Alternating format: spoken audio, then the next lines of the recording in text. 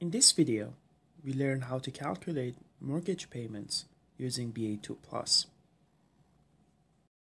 The question asks for a mortgage of $300,000 amortized over 30 years at 2.25% compounded semi-annually, calculate the monthly payments.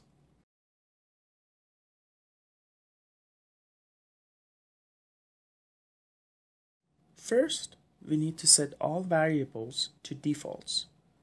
So press second and FV to clear TVM or time value of money. Then we need to set the number of compounding periods per year, CY, and number of payments per year, PY.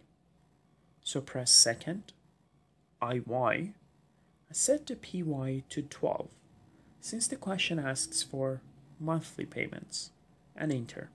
For CY, press the downward arrow. Note that the number of interest periods is 2, since the question asks for semi-annually. So press 2 and enter. Press C and C again to exit. For number of payments, we need to multiply number of years by the PY value we can use the payment multiplier.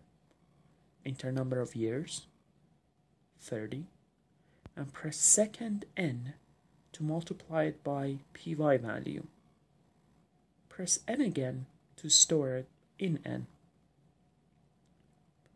For interest rate, enter 2.25 and IY.